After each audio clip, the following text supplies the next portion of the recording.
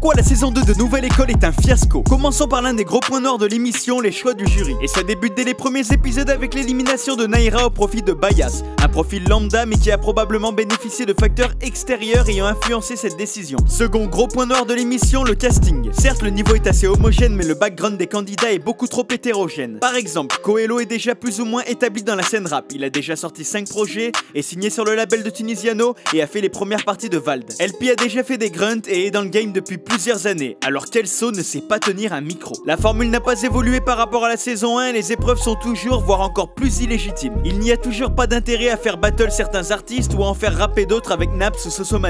Et quand bien même, l'émission est une compétition, quelle est la légitimité des épreuves quand LP est éliminé au profit de Boy qui délivre une performance inaudible mais qui passe en finale car il est jugé comme ayant plus de potentiel. Ce dernier sera d'ailleurs élu gagnant et accusé de viol le lendemain de la finale, ce qui viendra noircir encore plus le tableau de cette saison 2.